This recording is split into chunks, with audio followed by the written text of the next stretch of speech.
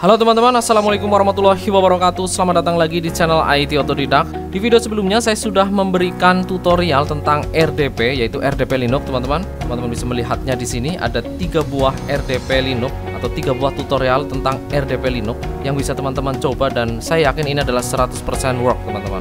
Oke teman-teman untuk video tutorial kali ini masih tentang RDP Dan kita akan mencoba menggunakan RDP Windows teman-teman dan Windows yang akan kita gunakan adalah Windows 11 jika teman-teman belum pernah menggunakan Windows 11 maka ini adalah salah satu cara bagi teman-teman untuk mencoba Windows 11 yaitu dengan menggunakan RDP ini ya. Jadi nanti teman-teman bisa tahu bagaimana tampilan Windows 11 dan bagaimana performa dari Windows 11 dan untuk menggunakan RDP Windows ini tentu saja sangat mudah, simple, dan ekonomis tanpa kartu kredit, tanpa uang, dan proses pendaftarannya pun cukup mudah. Seperti apa caranya? Silahkan teman-teman simak video ini dari awal sampai akhir. Jangan lupa untuk klik like, share, dan subscribe, serta tekan loncengnya supaya teman-teman bisa dapat notifikasi kalau ada video baru dari channel IT Otodidak.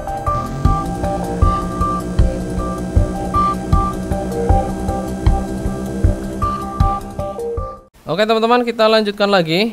Yang pertama teman-teman lakukan adalah siapkan dulu emailnya. Saya menggunakan tmail ya mail.tm Lebih bagus lagi jika teman-teman menggunakan gmail. Kemudian teman-teman nanti masuk ke microsoftonline.com Untuk linknya sudah saya siapkan di sini ya. Tinggal copy paste saja nanti teman-teman. Oke ini untuk uh, sign to your accountnya seperti ini ya. Kemudian kita create one. Kita akan membuat akunnya ini saya sudah pernah buat jadi ada peringatan seperti itu. Nanti kalau teman-teman belum pernah buat langsung masuk ke halaman ini. Ya kita copy di sini kemudian pastekan oke kemudian next ya. Di sini teman-teman silahkan isi passwordnya. Oke kemudian next. Ditunggu nanti akan ada email yang masuk ke inbox. Sebentar. Nah ini ya. Oke kemudian copy saja kodenya ke sini kita next lagi.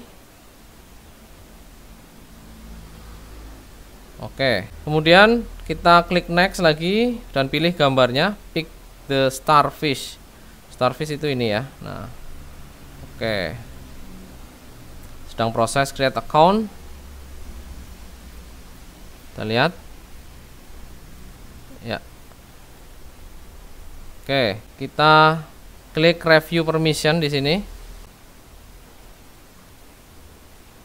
Oke, kemudian klik accept.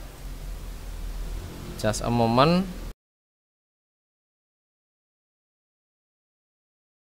Ya, finish. Sandbox aktif time remaining 59 menit. Jadi nanti ada waktunya ya, 59 menit aktifnya. Kemudian kalau sudah kita masuk ke Azure Portal ya. Klik kanan saja, kemudian open link in new tab. Kita masuk ke Microsoft Azure ya kita lihat di sini. Starter nah, kita lihat subscription kita apakah sudah aktif. Kalau tidak salah ini sebulan kalau nggak salah ya. Sekarang tinggal kita membuat atau create virtual mesinnya kita back home kemudian kita klik virtual machine di sini. Ya oke. Kalau sudah di sini create virtual machine ya. Klik kita tunggu dulu Oke, nah kemudian di sini pada resource group di sini pilih learn yang ini, kemudian kita tulis nama virtual mesinnya misalnya my RDP, kemudian regionnya dibiarkan, kemudian image-nya di sini, nah image ini uh, apa ataupun OS yang ingin kita gunakan, ini ada banyak pilihannya teman-teman ya. Saya pilih yang see all image. Oke, kemudian kita tuliskan di sini Windows 11 Oke tinggal dipilih untuk Windows 11 nya yang ini saja Windows 11 ya nah, yang Gen 2 ini ya. Ini saja Oke. Ya. Kemudian size nya ini kita gunakan yang standar saja yang biasa. Ya. Oke kalau sudah username nya username nya ini saya pakai yang IT Autodidak nah seperti itu. Centang semua berarti sudah betul kemudian passwordnya ini untuk passwordnya. Oke nah betul ya. Oke tulis lagi password yang tadi. Kemudian kemudian next pilih next ini. Disknya OS disk type nya menggunakan premium SSD atau standar SSD setelah teman-teman ya. Kalau saya pakai yang ini aja ya premium SSD kemudian networkingnya. Lihat nah ya. Oke manajemen kita buka. Ya, your subscription protect by Azure. Oke kita biarkan aja seperti ini ya teman-teman ya. Oke kita back lagi ke sini. Kemudian centang yang ini teman-teman. I confirm I have an eligible Windows 11 oke. Kalau sudah seperti ini tinggal review plus create. Di sini klik ya. Ditunggu prosesnya. Oke, kemudian klik di sini. Ya, sedang initializing deployment, sedang membuat virtual mesinnya ya.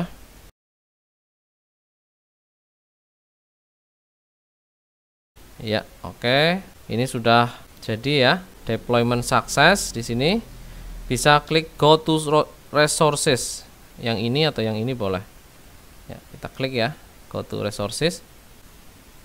Nah, ya Nah, di sini sudah siap ya. RDP-nya sudah jadi, teman-teman. Sekarang tinggal kita copy ini, copy to clipboard, kemudian untuk remote desktopnya kita munculkan. Nah, untuk username-nya adalah username yang tadi kita buat di awal ya.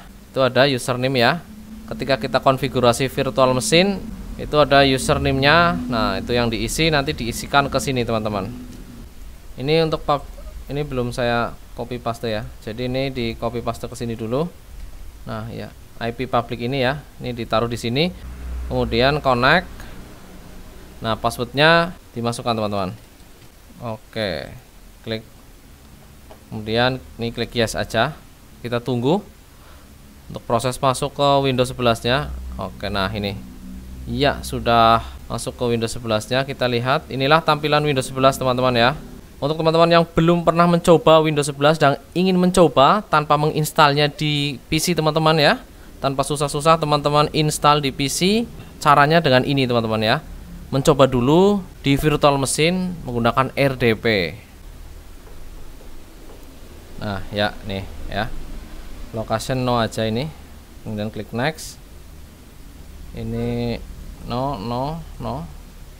Mirip-mirip ya masih ya tidak jauh dengan Windows 10 ya Nah seperti ini teman-teman tampilannya ini kayaknya tadi untuk performanya masih terlalu berat ini teman-teman karena menggunakan uh, eh, CPU nya 2 core kemudian RAM nya 8 GB saja ini teman-teman Oke nah ini dia get started.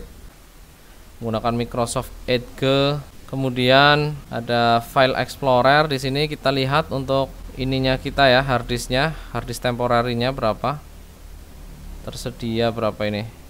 Nah, tidak jauh dengan Windows 10 ya tampilannya. Masih 14 GB free. Oke sini teman-teman ya. Windows 11 teman-teman.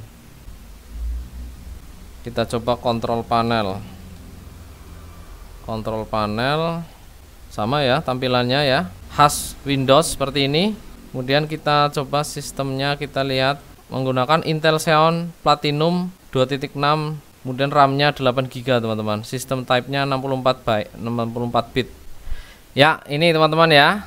Jadi sebelum teman-teman menginstal Windows 11-nya di PC teman-teman, teman-teman bisa coba dulu menggunakan RDP ini ya. Mantap sekali ini teman-teman ya. Kita bisa mencoba di RDP Microsoft Azure teman-teman.